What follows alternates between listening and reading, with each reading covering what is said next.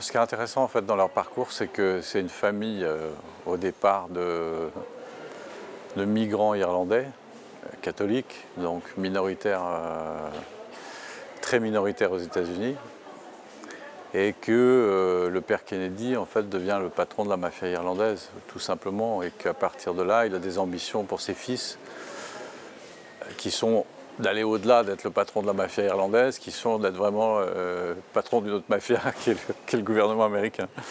Et, donc euh, ça marche, c'est ça qui est extraordinaire. Donc ça marche avec tout, l'argent qu'il a, parce que c'est la première fortune américaine à cette époque-là. Euh, il arrive à hisser son, premier fils à la, à la tête des États-Unis et devient président.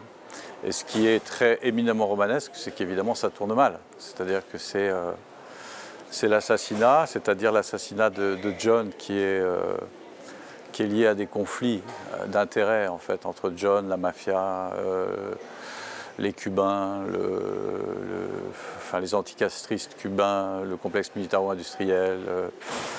et tout ça, ça crée vraiment une nébuleuse qui est extrêmement intéressante sur le plan romanesque parce qu'il y a d'un côté l'image, vous vous souvenez, Paris Match, Life, Time Life, avec les Kennedy, Madame Kennedy, machin, et tout ça, euh, Jackie Kennedy. Puis tout ça, derrière, il y a une réalité qui est totalement différente et qui est très intéressante.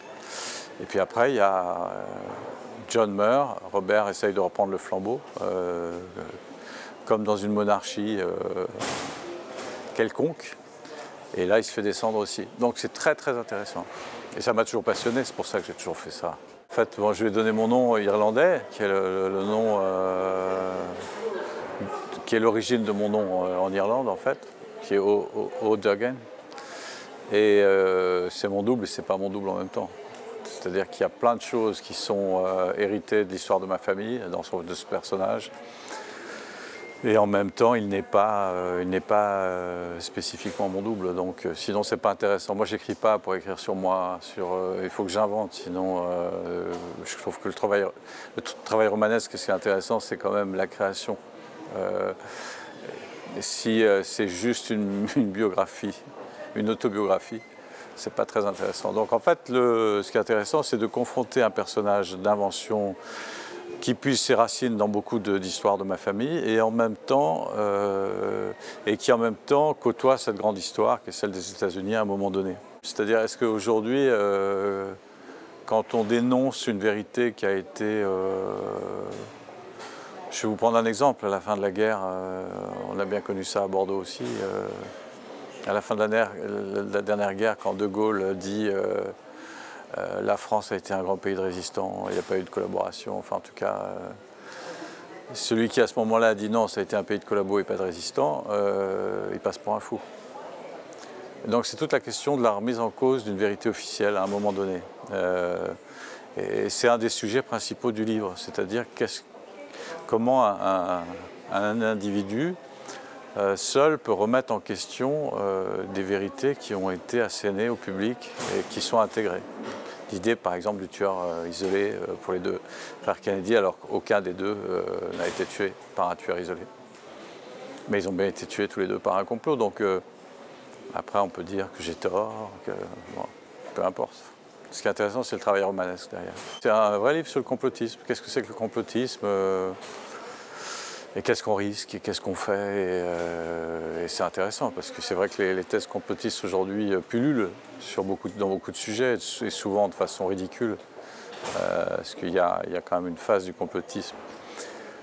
Et c'est ça le problème, c'est que justement ceux qui sont contre les lanceurs d'alerte se servent du mauvais côté du complotisme pour, pour le discréditer.